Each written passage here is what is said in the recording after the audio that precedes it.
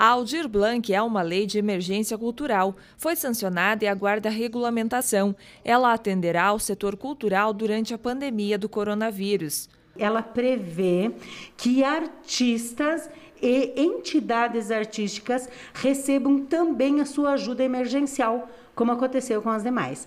É, a princípio, nós temos é, a informação que o governo do estado irá repassar essa, esses valores mensais para os artistas e Pato Branco, o município de Pato Branco vai receber para passar para as instituições, ou seja, as subvenções para as empresas e escolas, enfim, quem teve que fechar, que vive da cultura e teve que fechar por causa da pandemia. A chamada Lei Aldir Blanc é em homenagem ao artista que morreu de Covid-19. O Paraná poderá receber cerca de 150 milhões provenientes do Fundo Nacional de Cultura.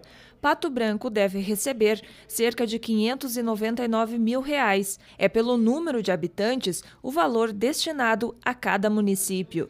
Todos esses valores vai ser por cadastro é necessário fazer o cadastro do artista e da instituição no SIC Paraná.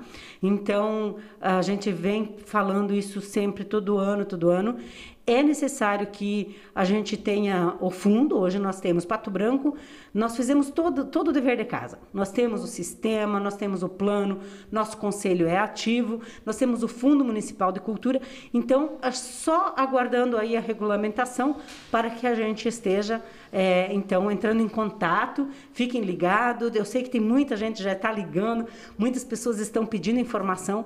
A gente já vai estar fazendo esse chamamento aí para os artistas e para as instituições. Também serão beneficiados os artesãos. Há cinco anos atrás já, o Ministério do Trabalho solicitou que eles fizessem um cadastramento, tivesse uma carteirinha do artesão.